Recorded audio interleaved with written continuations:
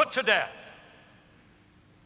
Why? Because you can't have a new birth until the old one has come to an end.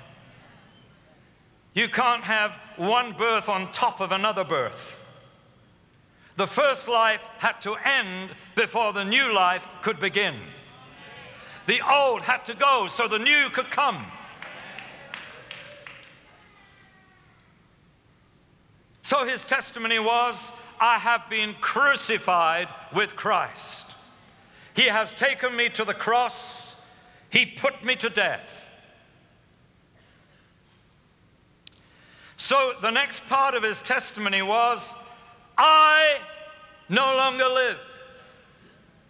Just turn to your neighbor and say, I have been crucified with Christ. Even if, even if you're not a believer, that is still true for you, so you can say it. I have been crucified with Christ. I, I want you to say it with some conviction. Can we have that one again? We'll just roll that back. I want you to turn to your neighbor and say, I have been crucified with Christ.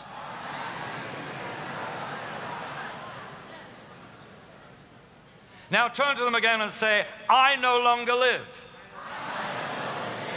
Now I want you to respond to what that person just said to you and say, Thank God.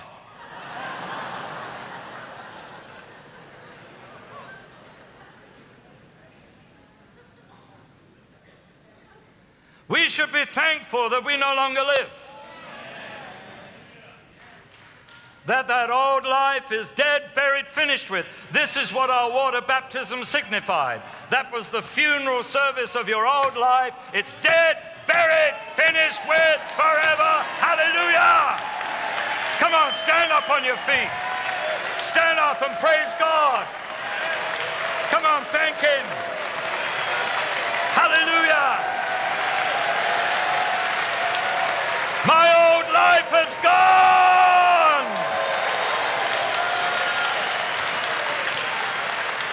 I'm not in bondage to my old life. I am free. Hallelujah. Okay, you may be seated. Praise God. If I had a black face, you'd have stood up without me asking you to. Those of you who were here last year will know what I mean. now, I no longer live.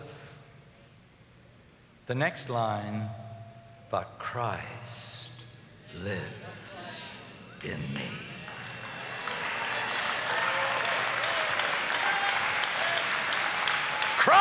Christ lives in me. I say, Christ lives in me.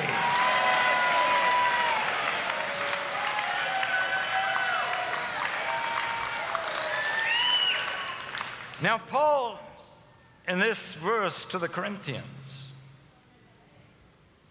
begins to draw out what that means.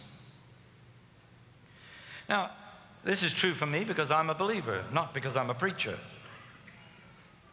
It's true for you whether you're a preacher or not because you're a believer. Christ is in you. So he says, He is my wisdom from God, your wisdom from God. Let's make this really personal, shall we? He's my wisdom from God. So, Paul says he's, he he, the one who lives in me, is my righteousness. Now, he doesn't say that he's made me righteous. Hello? In fact, if he is my righteousness, I don't need a righteousness of my own. I don't need to try to make myself righteous. He is my righteousness. I have perfect righteousness in me because the perfect one lives in me. He is my righteousness. I said, He is my righteousness.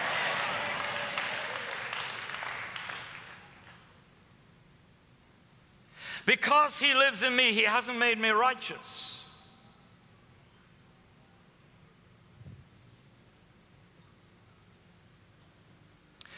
I don't live a life that can be compared with that of Jesus Christ.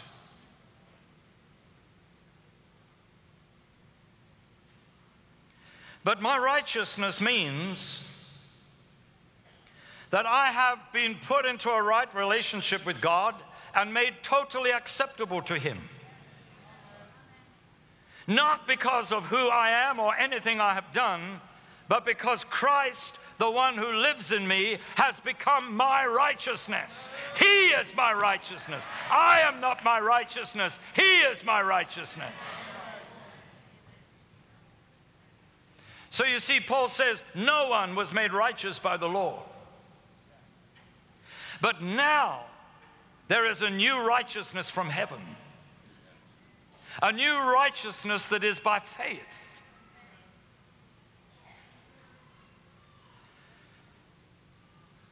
That is faith in the Son of God, faith in Jesus Christ. He is my righteousness. Why try to make myself righteous if He is my righteousness? So you see, what Paul is saying, it's not I, but Christ. The mistake that so many Christians make is they think God is trying to change you. Listen, God has got no intention of trying to change you because He knows it will never work. What He did was to exchange you. He put you to death and made Christ your righteousness.